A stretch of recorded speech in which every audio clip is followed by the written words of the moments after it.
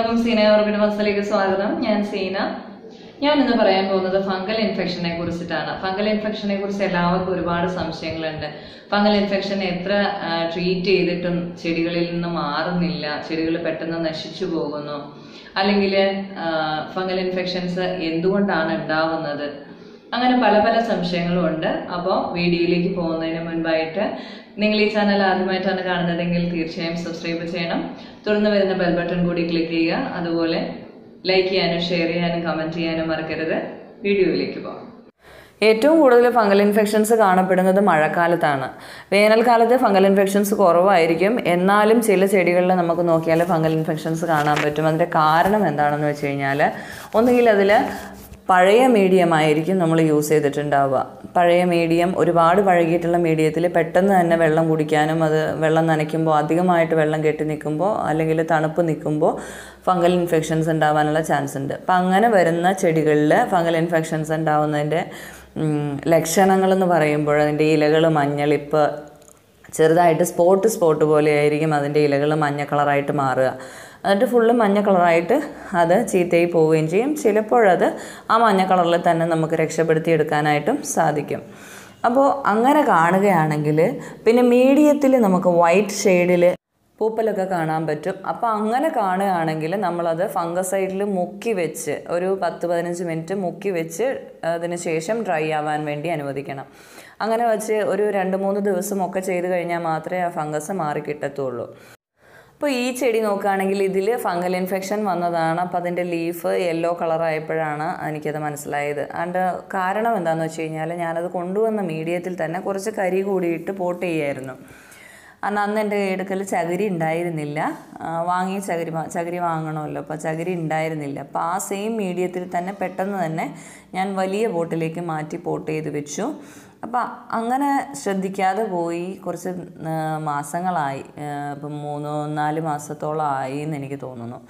അപ്പോൾ അപ്പോൾ അങ്ങനെ വന്നു കഴിയുമ്പോൾ അതിന്റെ വേരുകൾ ഉണങ്ങിപ്പോയി കുറച്ചൊക്കെ. രണ്ട് വേരുകൾ നല്ല ഇതായിട്ട് നിൽപ്പുണ്ട് അപ്പോൾ ഉണങ്ങിപ്പോയ വേരുകളൊക്കെ നമുക്ക് കട്ട് ചെയ്ത് കളഞ്ഞതിന് ശേഷം വേണം നമ്മൾ പിന്നീട് പോട്ട് ചെയ്യാനായിട്ട്. നമുക്ക് ആ മീഡിയം മാറ്റി കൊടുത്തില്ലെങ്കിൽ വീണ്ടും അതിൽ വളരെയധികം ഫംഗസ് ചെടികളിലേക്ക് വ്യാപിക്കാനും മൊത്തം ചെടി ചീത്തയായി പോകാനുള്ള ചാൻസ് ഉണ്ട്. അപ്പോൾ അങ്ങനെ കണ്ടു കഴിഞ്ഞാൽ നമ്മൾ ആ പോട്ടി മിക്സർ മുഴുവനായിട്ടും ആ ചെടിയിൽ നിന്ന് മാറ്റി ഫ്രഷ് മീഡിയം ഇട്ട് പോട്ട് ചെയ്യണം. അപ്പോൾ മീഡിയത്തിൽ പോട്ടി മിക്സർ നന്നായിട്ട് ചെക്ക് ചെയ്ത് നോക്കണം. പോട്ടി മിക്സറിലും അതുപോലെ തന്നെ ഫംഗൽ ഇൻഫെക്ഷന്റെ ലക്ഷണങ്ങൾ ഉണ്ടാവും. വൈറ്റ് പൂപ്പൽ നമുക്കറിയാമല്ലോ പൂപ്പൽ വൈറ്റ് കളറിലുണ്ടാവും അപ്പോൾ അത് കണ്ടു കഴിഞ്ഞാൽ നമ്മൾ ആ പോട്ടി മിക്സ് ഫുള്ളായിട്ട് മാറ്റിയിട്ട് വേറെ പുതിയ പോട്ടി മിക്സിൽ നിറയ്ക്കുകയോ അല്ലെങ്കിൽ ആ മിക്സർ തന്നെ നമുക്ക് കഴുകി വാഷ് ചെയ്ത് ഫംഗസ് സൈഡിൽ മുക്കി ഉണക്കിയെടുത്ത് ഉപയോഗിക്കുക ചെയ്യാം. അപ്പോൾ ഇതുപോലെ യെല്ലോയിഷ് ആയിട്ട് സ്പോട്ട് സ്പോട്ടായിട്ട് കാണുകയാണെങ്കിൽ അല്ലെങ്കിൽ ഫുള്ളായിട്ട് ചെറുതായിട്ട് വളരെ പതിയെ യെല്ലോയിഷ് ആവുകയോ ചെയ്തു കഴിഞ്ഞാൽ അത് എന്തെങ്കിലും കംപ്ലൈന്റ് ഉള്ളതാണെന്ന് മനസ്സിലാക്കുക അപ്പോൾ ചെക്ക് ചെയ്യണം. അപ്പോൾ ഇതുപോലെ മൂന്ന് വേരുകൾ നമുക്ക് കിട്ടിയിട്ടുണ്ട്. ബാക്കിയുള്ള വേരുകളൊക്കെ ഉണങ്ങിപ്പോയി. ഓൾറെഡി ഇത്രയും വളരെ കുറച്ച് പോട്ടി മിക്സറേ അതിൽ നിറച്ചിരുന്നുള്ളൂ അപ്പോൾ ഈ ചെടിയിൽ പുതിയതായ റൂട്ട്സ് ഉണ്ടായി വരുന്നുണ്ട്. ഇനി റൂട്ട്സ് ഇല്ലാത്ത ചെടിയാണെങ്കിൽ നമ്മൾ വേറൊരു പോട്ടിങ് പോട്ടിൽ വെച്ചതിന് ശേഷം വേരൊക്കെ മുളച്ച് വന്നതിന് ശേഷം നമ്മളത് വലിയ ബോട്ടിലേക്ക് മാറ്റി പോട്ട് ചെയ്യുന്നതായിരിക്കും നല്ലത്.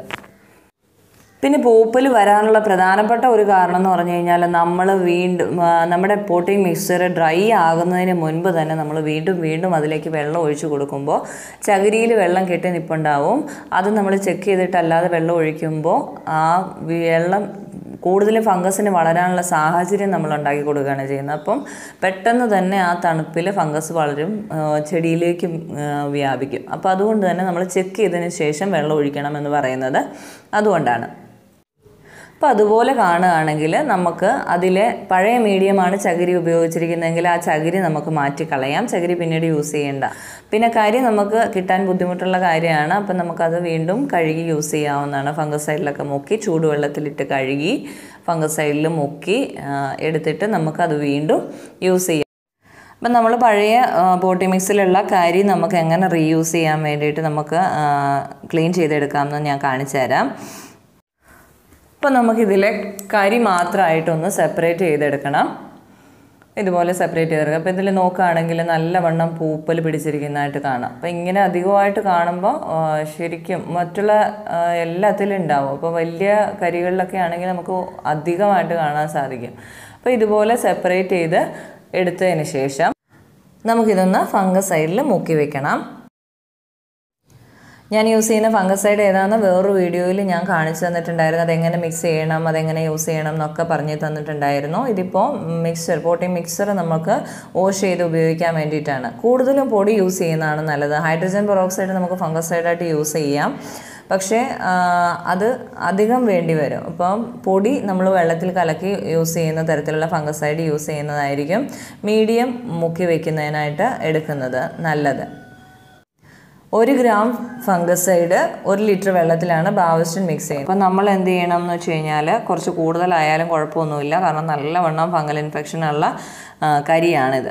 അപ്പോൾ നമുക്ക് അതിലേക്ക് കുറച്ച് കൂടുതൽ ഇട്ടാലും കുറച്ച് സമയം കൂടുതൽ വെക്കുകയൊക്കെ ചെയ്താലും കുഴപ്പമൊന്നുമില്ല. ഇതിപ്പം ഞാനിങ്ങനെ മുക്കി ഒരു രാവിലെ മുതൽ ഒരു ഉച്ച വരെ വെച്ചതിന് ശേഷം ഇത് ഉച്ചയാകുമ്പോഴത്തേക്കും ഒന്ന് എടുത്ത് വെയിലത്തേക്ക് നല്ലവണ്ണം ഉണക്കാനിടും.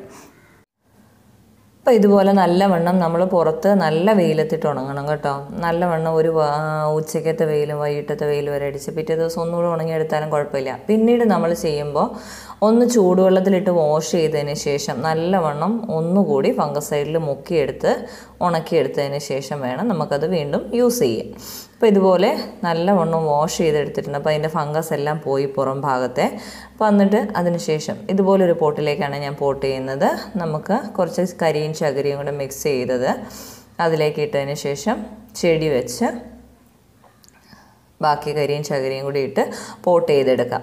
അപ്പോൾ ഇതുപോലെ നമ്മൾ ഫംഗൽ ഇൻഫെക്ഷൻ ഉള്ള ചെടിയുടെ മീഡിയം നമ്മൾ പ്രത്യേകമായിട്ട് ഇതുപോലെ മാറ്റി വെച്ച് മാറ്റിയെടുത്തതിന് ശേഷം ചീത്തയായിട്ടുള്ള മീഡിയം ഉണ്ടെങ്കിൽ കളഞ്ഞതിന് ശേഷം നമുക്ക് വീണ്ടും ഉപയോഗിക്കാവുന്ന കരി പോലുള്ള മീഡിയം നമ്മൾ ഫംഗസൈഡിൽ മുക്കി ക്ലീൻ ചെയ്തതിന് ശേഷം ചൂടുവെള്ളത്തിലിട്ട് വാഷ് ചെയ്ത് അല്ലെങ്കിൽ ആദ്യം ചൂടുവെള്ളത്തിലിട്ട് വാഷ് ചെയ്തതിന് ശേഷം ഫംഗസൈഡിൽ മുക്കി ഉണക്കിയെടുത്തിട്ട് വീണ്ടും നമുക്കത് യൂസ് ചെയ്യാവുന്നതാണ്. ഇല്ലെങ്കിൽ നമുക്ക് ഫ്രഷ് മീഡിയത്തിലേക്ക് അപ്പോൾ തന്നെ പോട്ട് ചെയ്യണമെന്നുണ്ടെങ്കിൽ ഇതിപ്പം കുറച്ച് ദിവസങ്ങൾക്ക് ശേഷമാണ് ഞാനിത് പോട്ട് ചെയ്തത്. അതുവരെ വേറൊരു മീഡിയത്തിൽ വെച്ചിരുന്നു.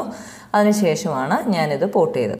അപ്പോൾ ഒരുപാട് ദിവസം ഫംഗസൈഡ് യൂസ് ചെയ്തിട്ടും ഫംഗൽ ഇൻഫെക്ഷൻ മാറുന്നില്ല എന്നുണ്ടെങ്കിൽ നിങ്ങൾ മീഡിയം മാറ്റി ഇതുപോലെ ചെയ്യുകയാണെങ്കിൽ പെട്ടെന്ന് തന്നെ അതിന്റെ ഇൻഫെക്ഷൻ മാറി അതിന്റെ ചെടിക്ക് നല്ല ആരോഗ്യം കിട്ടും. അപ്പോൾ ഫംഗൽ ഇൻഫെക്ഷൻ ഉണ്ടായ ഒരു ചെടി എങ്ങനെ ട്രീറ്റ് ചെയ്യണമെന്ന് മനസ്സിലായിട്ടുണ്ടാവുമെന്ന് വിചാരിക്കുന്നു. നമ്മൾ മേടിച്ചുകൊണ്ട് വരുന്ന ചെടികൾ പുതിയതായിട്ടുള്ള ഒരു മീഡിയത്തിൽ അല്ലെങ്കിൽ നമുക്ക് കംഫർട്ടബിൾ ആയിട്ടുള്ള ഒരു മീഡിയത്തിലേക്ക് പോട്ട് ചെയ്യുന്നതായിരിക്കും ഏറ്റവും നല്ലത്. അങ്ങനെയാകുമ്പോൾ നമുക്ക് ആ ചെടിയെ പരിചരിക്കാനും രോഗങ്ങൾ കൂടുതൽ വരാതിരിക്കാനായിട്ടൊക്കെ സഹായിക്കും. അപ്പോൾ അതുപോലെ നിങ്ങൾക്ക് ഈ വീഡിയോ ഇഷ്ടമായെങ്കിൽ തീർച്ചയായും ലൈക്ക് ചെയ്യുക. അതുപോലെ നിങ്ങളുടെ ഫ്രണ്ട്സിനെ ഷെയർ ചെയ്യുക. കമൻസ് അയക്കാൻ മറക്കരുത്. അപ്പോൾ ഇനിയും നല്ല നല്ല വീഡിയോകളുമായി കാണാം. Thanks for watching